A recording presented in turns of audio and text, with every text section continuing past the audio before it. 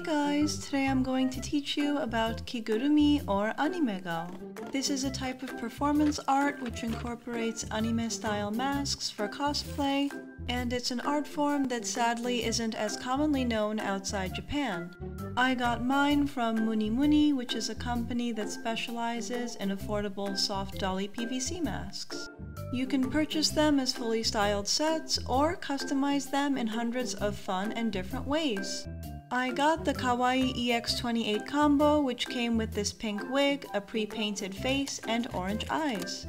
I also decided to get a separate pair of replacement eyes which I was able to easily swap by warming the area with a blow dryer or heat gun. Part of the fun of Kigurumi is being able to be creative and try out new looks or copy your favorite anime character. For the new eyes, I got the color fairy green because I thought it would contrast beautifully against the pink wig.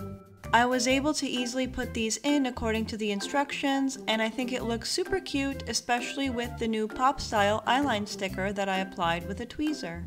Depending on how you want your kigurumi to look, you can change the angle of these stickers to communicate their personality. I kept my eyebrows neutral because I wanted this kigu to look sweet and friendly. And now for the final step, we add the back piece so we can attach the wig and complete our mask.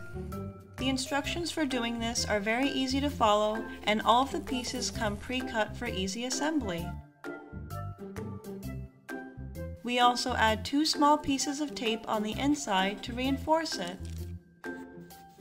Each special Muni Muni wig also comes with four velcro pieces that get attached to the mask so that they're easily swappable.